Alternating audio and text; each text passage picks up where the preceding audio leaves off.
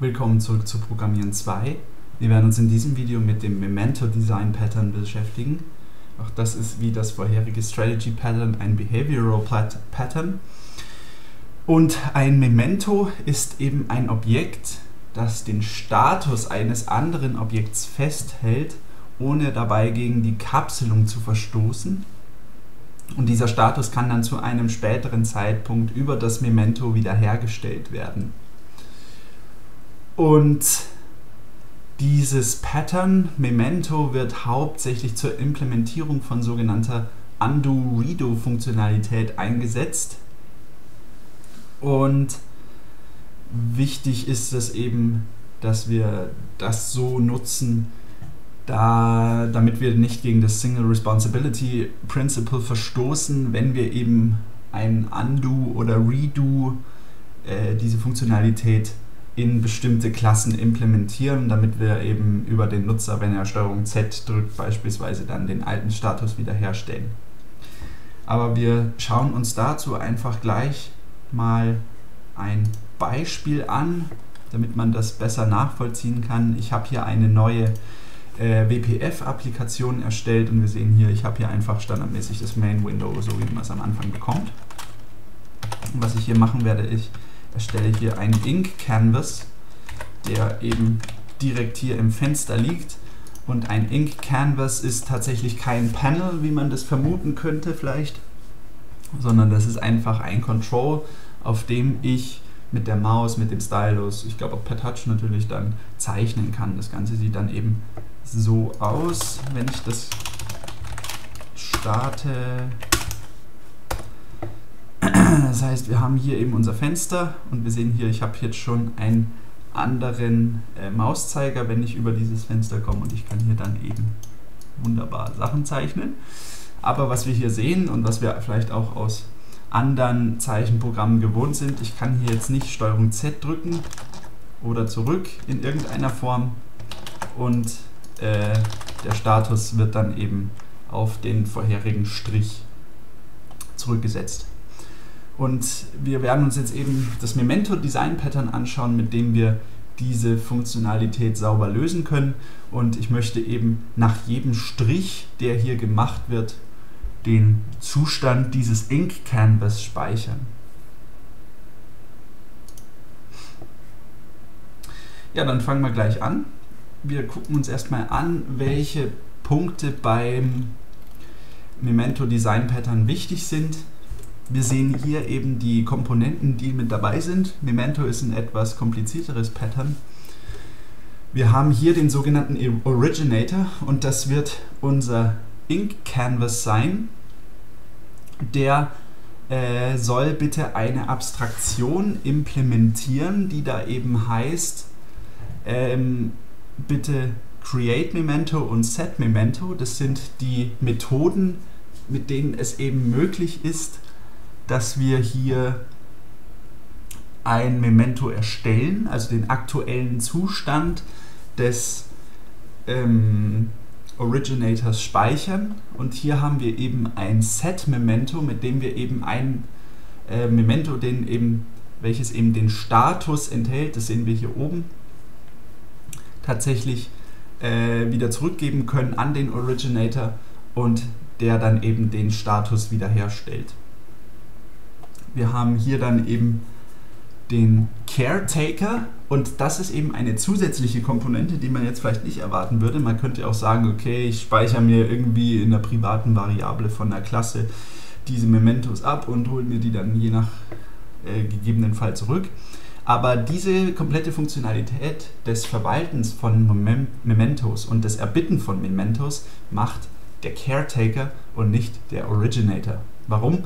Ich muss dann einfach bloß die Originator-Abstraktion in eine entsprechende Klasse im, äh, implementieren und einen Caretaker, den ich eben bloß einmal geschrieben habe, einsetzen und der nutzt dann eben ähm, oder der verwaltet eben die Mementos, der Originator muss sie bloß bereitstellen bzw. setzen können, was eben die Implementierung im Originator sehr vereinfacht.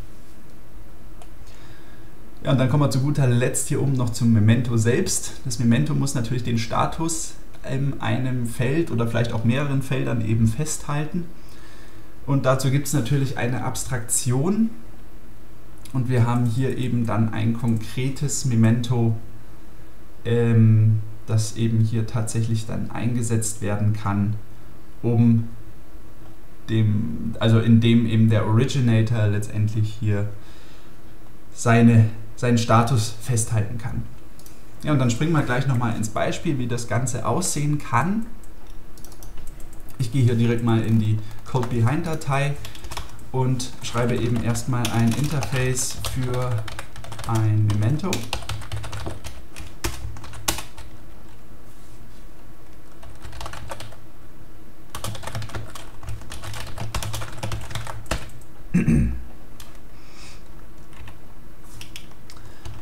Und was wir hier jetzt eben sehen, ist, dass dieses Interface offensichtlich hier eine Status-Eigenschaft haben muss, mit denen man dem Status eben setzen oder lesen kann. Und eigentlich bräuchte ich bloß einen Getter. Setzen will ich es ja nicht. Ich will es ja bloß einmal beim Erstellen festhalten. Ähm, dann brauchen wir natürlich einen Originator. Das heißt, ich mache hier eben in diesem Fall jetzt mal eine Lösung über den über Ableitung, wobei ich das im tatsächlichen Produktionscode nicht machen würde, glaube ich. Aber ich zeige es jetzt einfach mal, weil es vielleicht ein bisschen einfacher zu verstehen ist.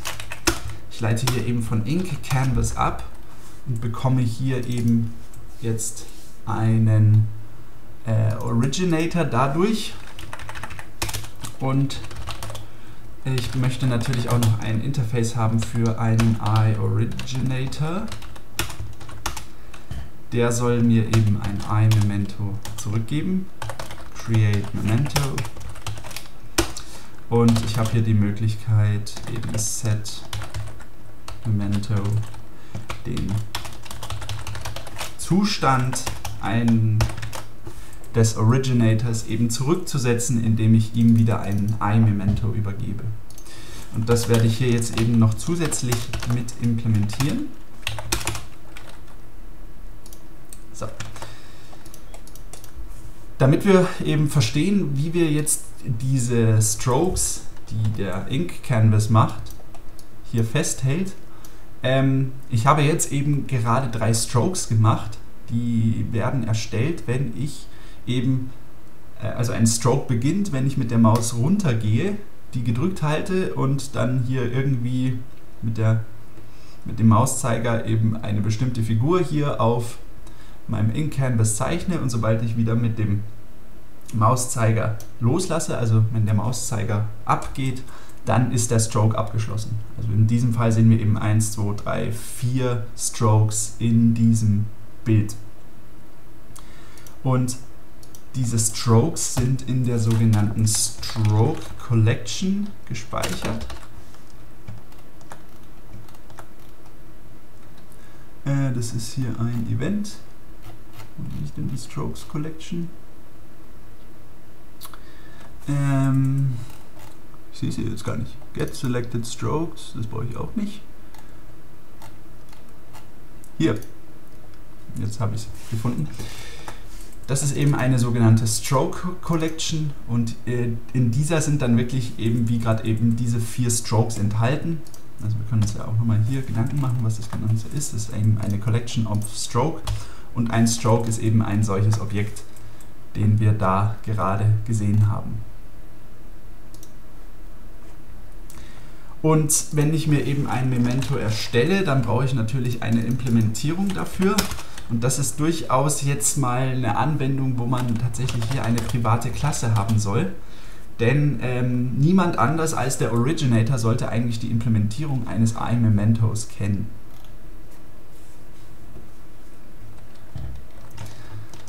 Und wir haben hier jetzt eben die Möglichkeit, dass wir ein äh, Stroke Collection Memento machen.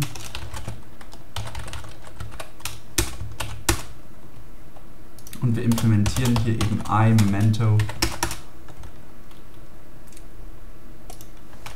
Letztendlich auf diese Art und Weise. Und wir können jetzt hier eben direkt eine Stroke Collection angeben.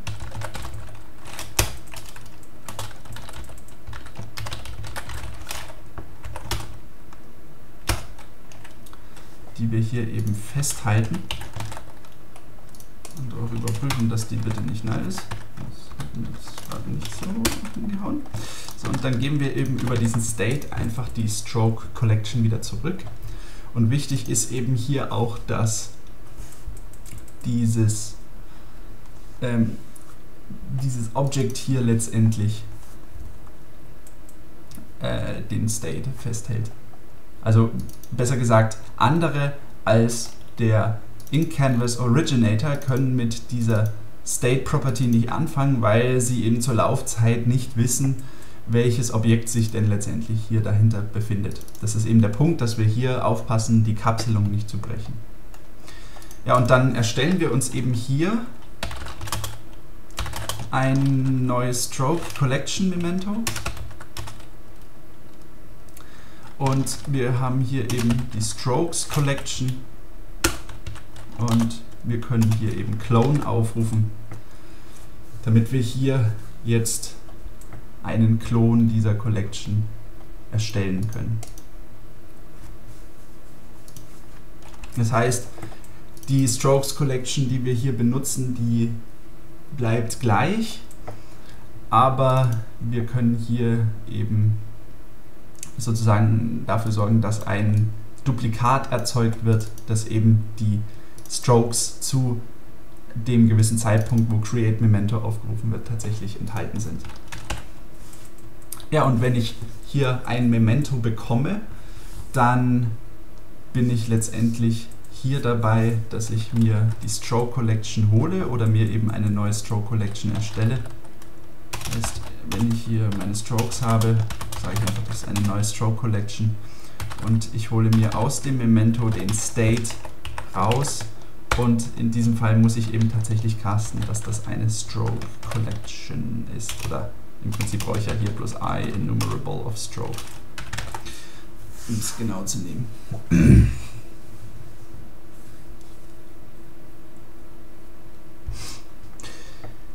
Ja, und äh, so sieht das Ganze eben tatsächlich aus. Damit sind wir mit dem Originator fertig. Wir sehen, es ist eigentlich eine relativ einfache Implementierung. Äh, das größte Problem ist hier eigentlich dieses, ähm, dieses Memento, was wir hier erstellen müssen. Und was wir jetzt noch machen können, ist, dass wir den Caretaker implementieren.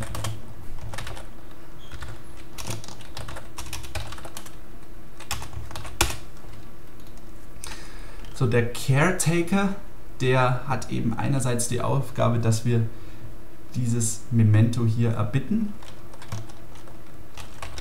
Das heißt, ich erstelle hier eine Public Void ähm, Erbitte Memento Methode oder Request Memento. Ich habe jetzt hier in diesem Video eben auf Englisch programmiert, deswegen ziehe ich das auch durch. Der Caretaker braucht natürlich einen I-Originator, mit dem er arbeiten kann. Den geben wir ihm, wie jetzt mittlerweile üblich, über Dependency Injection. Und was er jetzt hier macht, ist eben, dass er den Originator fragt, bitte erstelle mir mal ein Memento. Und dann wird dieses Memento eben auf einen Stack gepusht.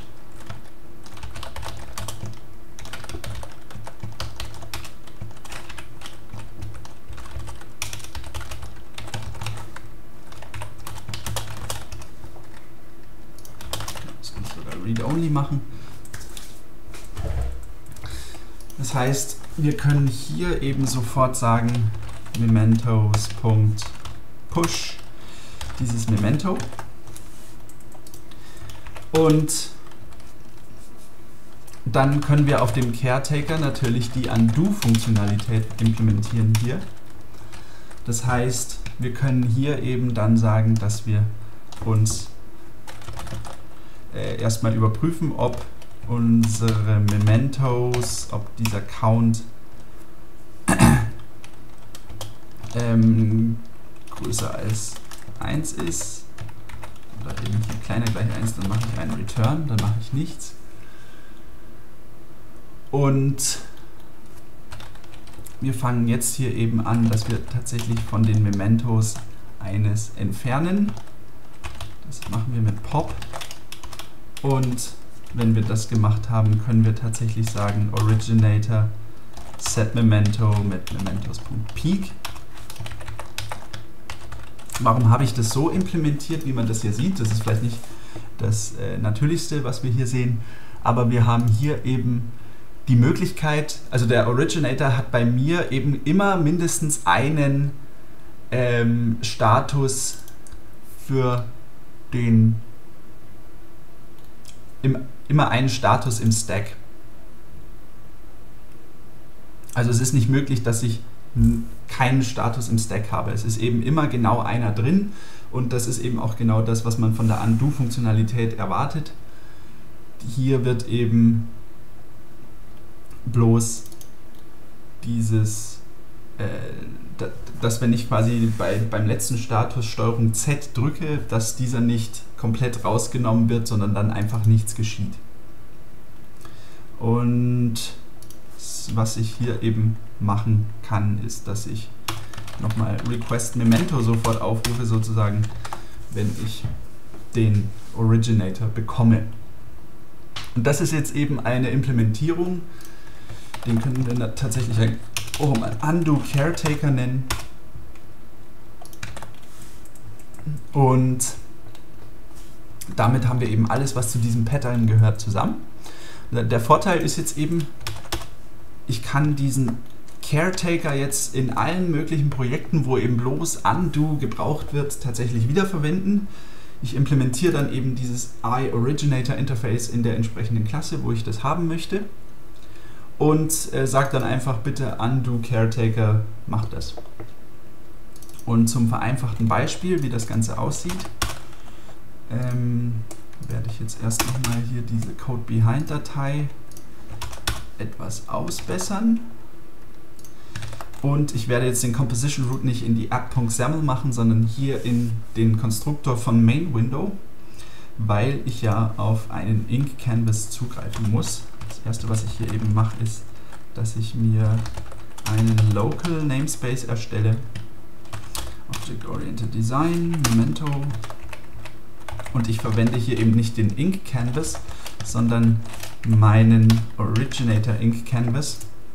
Wie gesagt, in, in echten Produktionscode würde ich das wahrscheinlich nicht über Vererbung lösen. Äh, Entschuldigung, hier bin ich. Sondern über Komposition. Das heißt, ich würde eine Klasse mir holen, die eben einen Ink Canvas und ähm, in den Konstruktor bekommt und dann das iOriginator Interface implementiert. Also letztendlich wird es ein Adapter was wir eben schon vor zwei Videos besprochen haben. Aber ich mache es jetzt hier mal über Vererbung in diesem einfachen Fall, damit man sich das leichter darstellen kann. Ja, dann sind wir jetzt eben hier und haben unseren Ink Canvas Originator. Den gebe ich natürlich auch noch einen Namen. Ink Canvas Originator damit ich hier in der Code Behind darauf zugreifen kann. Was ich hier jetzt eben mache, ist, dass ich mir noch einen Caretaker festlege.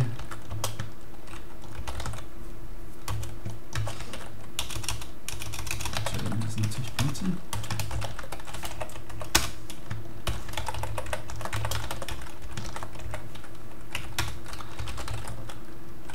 Und Genau, mehr brauche ich eigentlich auch nicht. Den Caretaker muss ich mir hier eben jetzt noch initialisieren mit dem Originator. Da gebe ich einfach den InCanvas Originator rein und schon bin ich dabei. Das nächste, was ich machen muss, ist eben, dass ich Steuerung Z, also eben dieses, diese entsprechenden Methoden des Caretakers aufrufe, dass er eben hier tatsächlich Request Memento und Undo angesteuert wird, wenn der Nutzer die entsprechenden Tasten drückt. Und das mache ich eben so, dass ich in der Main-Window-Datei wenn ich eben feststelle, dass auf dem Ink Canvas ein Mouse Down, nee, Entschuldigung, ein Mouse Up Event erfolgt, dass ich dann einfach sage Caretaker Request Memento. Und als nächstes, wenn der Nutzer eben STRG Z drückt, und das kann ich über sogenannte Command Bindings ähm, mir erstellen. Das heißt, dass ich hier eben sage, dass das Command bitte undo ist. Das wird jetzt automatisch eben an STRG Z unter anderem gebunden. Ähm, hier kann ich dann eben sagen, ich erstelle mir hier ebenfalls einen Event-Händler, wo ich dann einfach Caretaker Undo aufrufe. Also jetzt, es ist eigentlich relativ einfach, was hier passiert. Wenn wir eben äh, feststellen, dass Steuerung Z gedruckt würde, das passiert eben hier, indem ich das Undo-Command anbietet, hier direkt mit an das Window anbinde, wenn das eben mitbekommt, dass das hier passiert, dann soll diese Methode ausgeführt werden und wenn der Ink Canvas Originator hier das Mouse Up Event feuert, dann kriegen wir hier eben äh, diese andere Methode aufgerufen in der Code Behind Datei, die eben für den Caretaker Request Memento aufruft. Und dann kompilieren wir das Ganze mal und führen das aus und wir sehen jetzt eben, ich kann hier Oh Gott, ich kann überhaupt nicht zeichnen. Also es ist kein schöner Smiley, aber wenn ich jetzt STRG Z drücke, sieht man eben, dass der jeweils letzte Stroke zurückgeht. Und ich kann dann hier eben weiter zeichnen, dann wird wieder auf den Stack gepusht. Und dann kann ich mit STRG Z diese Elemente wieder wegnehmen. Ich möchte auch noch mal kurz zeigen, was hier tatsächlich passiert, wo wir landen jeweils. Also ich setze hier mal Breakpoints rein. Wir sehen hier, wenn ich jetzt, ich habe jetzt einen schlechten Strich gezeichnet, aber wir landen hier tatsächlich im Mouse-Up-Event. Dann kommt eben Request Memento, das heißt der Caretaker ruft auf dem Originator Create Memento auf. Wir erstellen uns hier eben ein neues Stroke Collection Memento. Diese werden eben geklont und dann pushen wir das auf den Stack. Also nichts Besonderes. Und wenn ich hier jetzt nochmal einen ordentlichen Strich zeichne, sehen wir, wir können landen wieder hier in diesem Mouse-Up-Event und holen uns wieder ein Momento. Wenn ich jetzt eben hier im Fenster STRG Z drücke, landen wir in dieser Command Binding on Executed Methode und wir rufen undo auf. Das heißt, wir gucken erstmal, ist dieser Count hier größer als äh, 1 und ähm, wichtig ist eben, der initiale Zustand ist, dass wir gar keine Strokes hier in dieser Collection haben. Und wir haben hier dann eben die Möglichkeit, dass wir einen Zustand wegnehmen und uns den alten mit Peak holen, also den obersten. Wenn das vorbei ist, sehen wir eben, dass dieser Strich jetzt wiederum weg ist.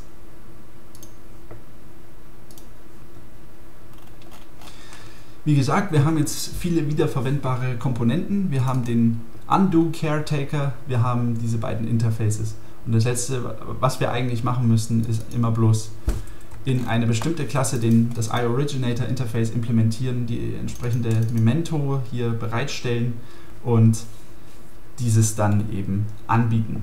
Ich sage vielen Dank fürs Zuschauen bei diesem Video und wir sehen uns im nächsten Video wieder. Bis bald.